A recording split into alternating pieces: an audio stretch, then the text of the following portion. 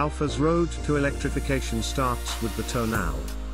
The launch of any new vehicle is significant, but for the 2023 Alfa Romeo Tonale it's doubly so. The new Tonale isn't just Alfa's first small SUV. It also marks the first step in Alfa Romeo's sprint toward a promised all-electric lineup by 2027.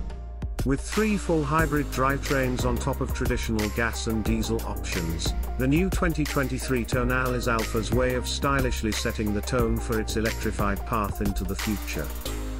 The Tonale's standard North American powertrain will be familiar, Stellantis turbocharged 2.0-litre i4, versions of which can be found in vehicles such as the Jeep Cherokee. Under the Tonale's hood, that engine produces 256 horsepower and 295 pounds-to-foot of torque. It's paired with a 9-speed automatic and standard all-wheel drive. Alfa will also offer a 130 horsepower turbo diesel Tonale with front-wheel drive and a 6-speed dual-clutch automatic in Europe and Africa. Alfa says it has no plans to bring the new Tonale hybrid or diesel stateside, as neither is powerful or torquey enough for North American tastes. With Alfa positioned as Stellantis' new global premium brand, the automaker went to great lengths to make the Tonale's cabin upscale without stepping on the toes of its fellow Italian Stellantis brand, Maserati. The cabin isn't revolutionary, but the richly appointed, driver-focused cabin appears to be a step forward in functionality compared to the at times finicky controls in the Giulia and Stelvio.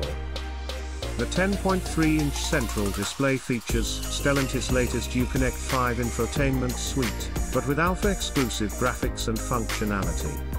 Alfa says this sharp-looking system offers over-the-air update capability, wireless CarPlay and Android Auto integration, and Amazon Alexa. Although Alfa Romeo says it won't release 2023 Tonale pricing until closer to its early 2023 launch, it has told us that prices would be competitive with the segment.